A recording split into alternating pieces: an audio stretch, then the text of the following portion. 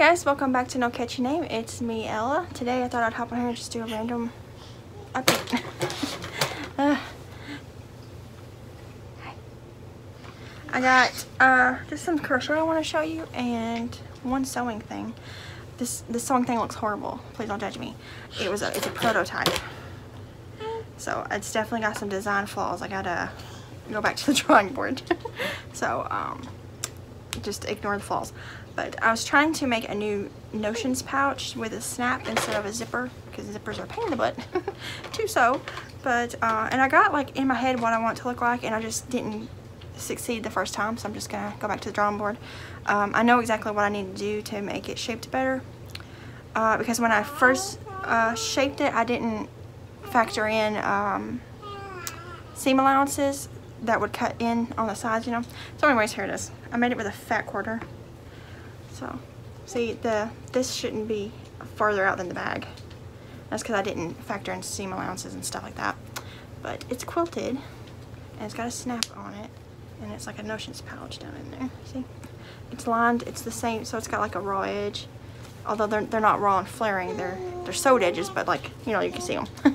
um, so, it's the same print on the inside and outside and it is quilted like I said you can I did like a swirly quilt but um so this is what I want to go for I just need to redesign it because this needs to be uh, in a little you know in a little bit so it's not sticking outside and shorter I think.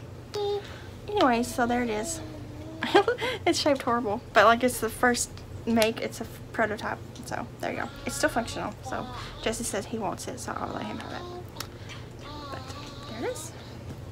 Alright, now for crochet. So, crochet. I got some work done on my Halloween countdown. Just a little bit. It's taking forever. I need to sit down and work on this. Uh, hold on, I got yarn everywhere. Look. So, here it's coming on. It's getting there.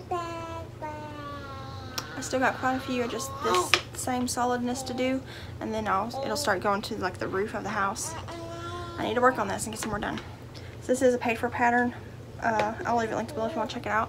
It'll have pockets on it with 1 through 31 for candy treats every day of October.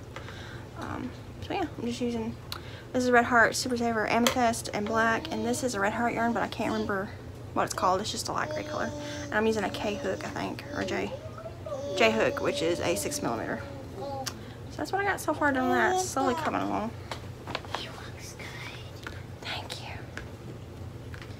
And then I started uh, Jack from this crochet kit that I got gifted to me.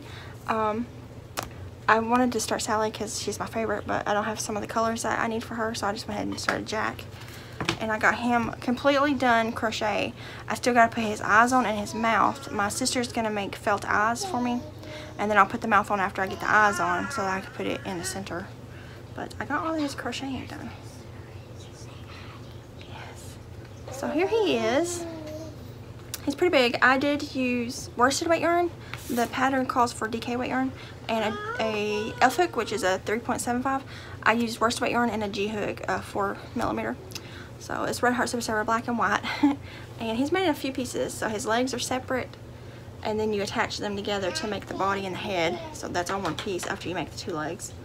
Um, the arms are separate. The coattails, there's two of them. There's two pieces right here that's black that's sewn on. That's his like collar. And then the, the white part's separate. And then the bat um, bow tie thing is three different pieces. It's wing, head, wing. So it's a few pieces. And then, uh, like I said, my sister's going to make me some eyes. Um, I sent her a picture of this. And I told her about what size I needed to be. And then after I get the eyes, I can stitch on this little embroidery part to finish his face. So it's almost there. His arms and his legs have pipe cleaners in them. What? And so does his neck and head. So sewing on all the pieces was a little uh, complicated. I had to look up because I wasn't quite sure. You can look behind the bat wing. The color kind of sticks out there. You know, it's like a pointed color. I wasn't sure because the book doesn't like explain how to sew that on that well so I looked up other people who made this and followed kind of their what their picture did so I feel like his bow tie turned out huge but oh well that's okay it's still cute so he's completely done except his face so I will just put him up and wait until my sister gets me the eyes and then I will um, finish that up. But yeah, so I think the next one I'm to start on is to be Oogie Boogie.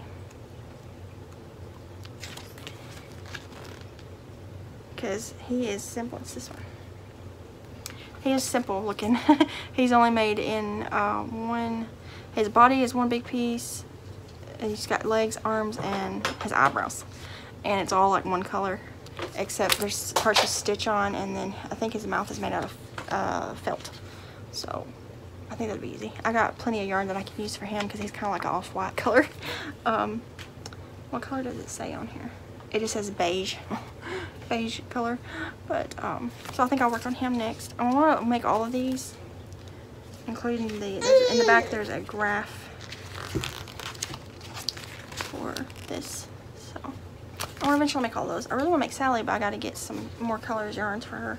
I need to dig through, um, my stash and see if I got any. So it's living in my first, my prototype for my vinyl bag. I think I found out what I'm going to do to fix these bags to make them easier for me to make. Um, I think I'm going to put something up here to attach uh, the zipper to first, some fabric, and then attach the fabric to the vinyl, and then that'll give the zipper enough space to be able to zip without getting stuck on the vinyl. So that's one of the issues right here is it kind of gets stuck on the vinyl that's on the inside near the zipper. So I'm going to try that with the next one whenever I get to mess around just with sewing uh, for the heck of it. Uh, but I just use this bag because it's, it's, simple enough for me to use. And also I'm going to put interfacing in the bottom because it's still kind of real floppy.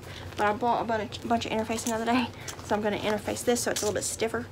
And then um, try that way and see if I can make vinyl bags then that I think are good enough to sell. but this one's definitely not good enough to sell because it's um, got a few flaws. So what I've been working on is my Halloween countdown, which I'll link below. My Nightmare Before Christmas guy. I get I got most of this done today. Um, yeah, today I made his arms, coattails, the shirt, all the shirt pieces, and all his bow tie pieces, and then sewed it all together. Um, so I'll link that below. You can get it on Amazon. And what else was I working on? Oh yeah, this bag. but this is like a flop. I'll have to redraw that. So I do have a bunch of bags here that I need to start quilting. I'll probably do that tomorrow uh, for the shop. And, then I'll work on some Oogie Boogie, I guess. And then I don't know what else. I still need to um, line my Christmas blanket for the fair, but I really don't know if I'm going to have time to do that before the fair pops up. Because it is coming up pretty soon. So, we will see. Anyways, I'm going to go ahead and hop off here because the kids are going crazy.